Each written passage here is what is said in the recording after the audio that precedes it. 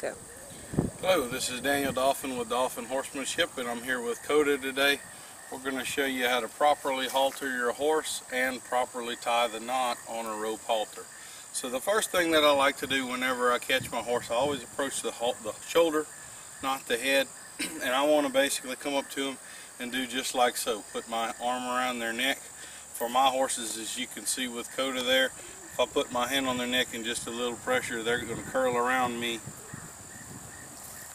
and then they'll be ready to put their nose in the halter. So I don't want to be haltering a horse way up here. I kind of want them to, to come to my level. Now likewise, this is about exactly where I want him, about where my shoulder height is. Um, I wouldn't want him putting his head way down there. If he were to do that, then I'd put my knee under there and, and pick his head up. Okay, you want to walk around here, babe? the knot that we use to properly tie our halter is a very common knot. With horses, it'd be the exact same knot we've used to put the lead rope on down here. It is called a sheet bend.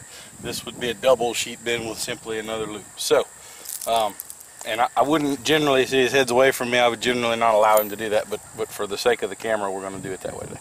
So I'm going to just come through my loop. First thing I want to do is just kind of pick up on that knot under the jaw, lift it up, and that's what's going to take the slack out of my halter so that it fits properly.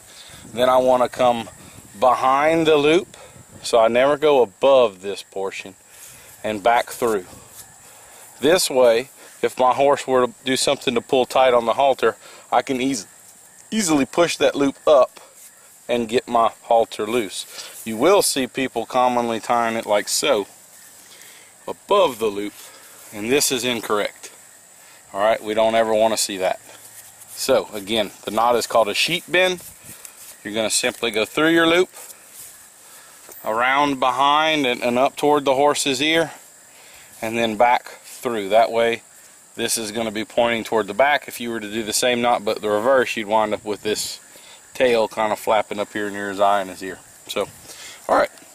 That's Daniel Dauphin with Dauphin Horsemanship, and that's how to properly put a halter on your horse and properly tie the knot on a rope halter. Thank you much.